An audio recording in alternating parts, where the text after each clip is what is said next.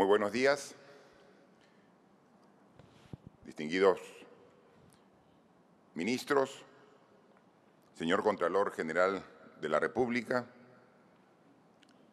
autoridades de nuestro país y autoridades y funcionarios que nos visitan de diversos países del mundo, miembros del cuerpo diplomático, funcionarios, representantes de las diversas instituciones públicas, amigas y amigos todos. En este mes de diciembre se cumplirá el primer aniversario de referéndum que permitió a peruanas y peruanos de manera abrumadora pronunciarse libre y democráticamente en las urnas sobre qué país quieren para ellos, para sus hijos y para las próximas generaciones.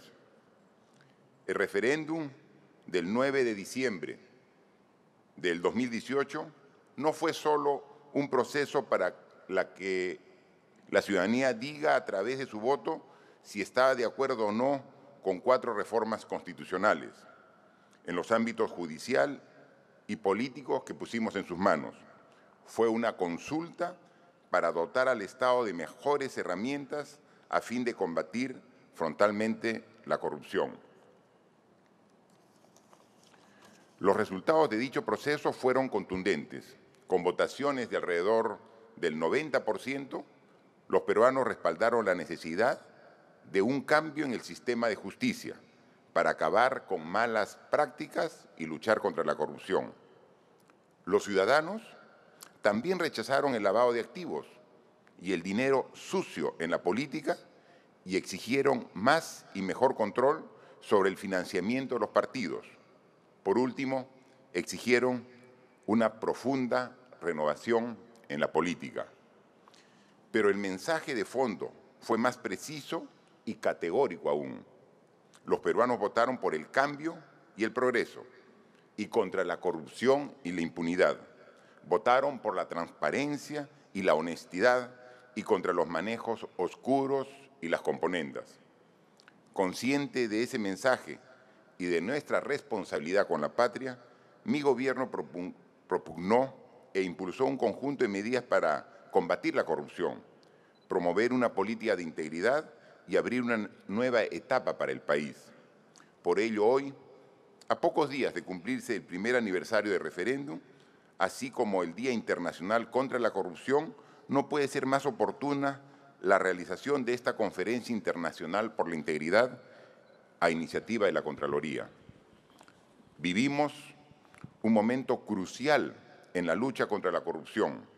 Sectores involucrados en actos ilícitos pretenden revertir todo lo avanzado y volver a foja cero.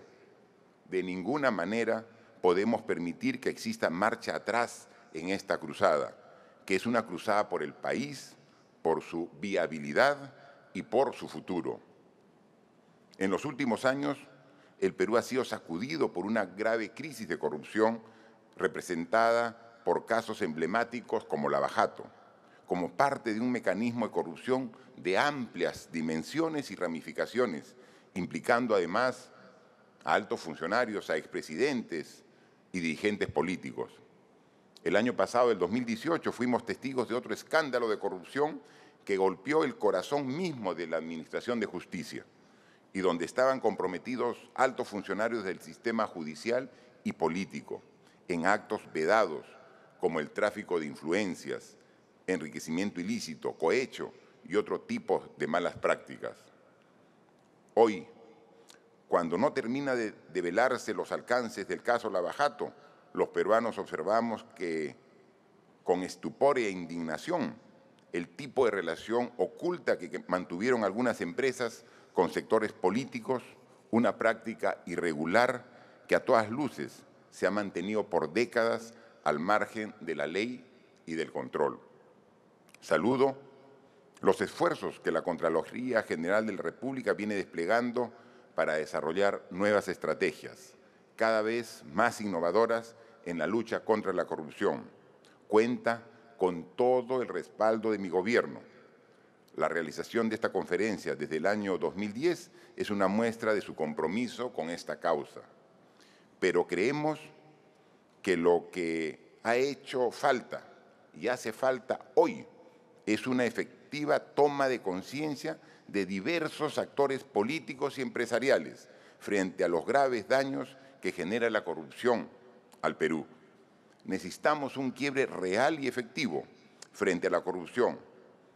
Ya no solo bastan las palabras, lo que hace falta, lo que sigue, es pasar de las palabras a los hechos, con medidas concretas y efectivas.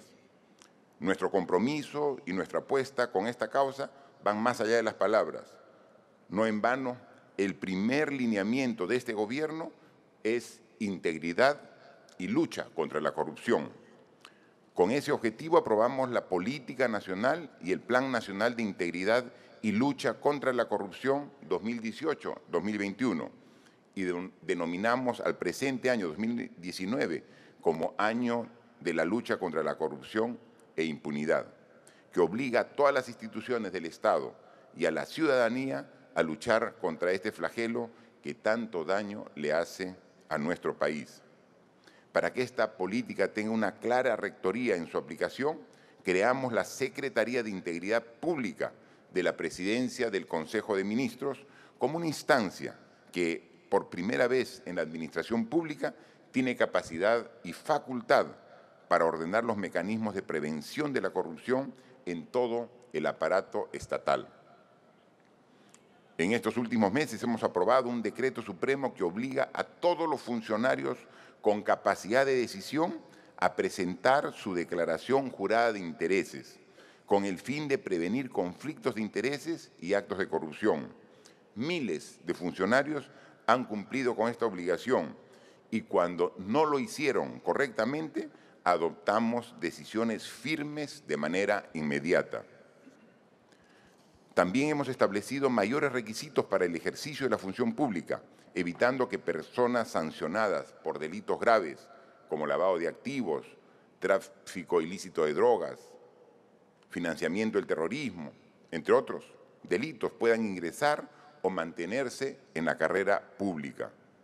Somos conscientes que si estas medidas no van acompañadas de una política de prevención de la corrupción y fomento de la integridad, es altamente probable que volvamos de manera cíclica a enfrentar escándalos de corrupción con la consecuente frustración, desconfianza e indignación de nuestros ciudadanos. Por ello es importante resaltar la toma de conciencia de todos los ciudadanos sobre lo perjudicial que es la corrupción para toda la sociedad y que esta lucha debemos asumirla todos por igual. Ya se ha repetido bastante la cifra que la corrupción nos cuesta a todos los peruanos, más de 10 mil millones de soles al año. Cifra que afecta principalmente a los más pobres y no podemos permitir que esto continúe. De tal manera que sin descuidar ni disminuir los esfuerzos para combatir los actos de corrupción, debemos también fortalecer los mecanismos para evitar que esto ocurra, como lo ha explicado el Contralor General a través del control concurrente de proyectos que realiza la Contraloría, que advierte de hechos irregulares, incluso antes que estos se den. Para combatir la corrupción no tenemos que pasar al otro extremo de la inacción. Hay mucho por hacer en el país. Y no podemos que por temor a la corrupción tengamos miles de proyectos paralizados. Es por eso que acogiendo una iniciativa de la Contraloría General de la República que estuvo por meses sin atender en el Congreso de la República, nosotros la hicimos nuestra y a través de un decreto de urgencia estamos posibilitando la forma de reactivar los cientos, si no miles, de proyectos paralizados en todas las regiones de nuestro país. Y también acogeremos las dos iniciativas que nos ha hecho llegar la semana pasada para a través de ello propiciar la ejecución de los importantes proyectos que los peruanos requieren, pero con el control adecuado para que en su ejecución no se den estos actos de corrupción.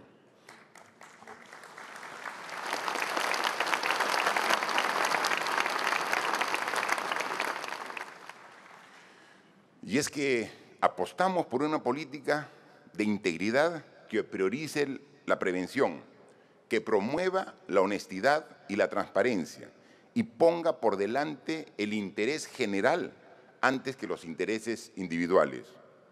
Una vez más, agradezco a la Contraloría por haber organizado este espacio de análisis e intercambio de conocimientos sobre la política anticorrupción e integridad y los invoco a seguir trabajando juntos para hacer cumplir el mandato del pueblo y construir un país libre de corrupción, íntegro, desarrollado y sostenible.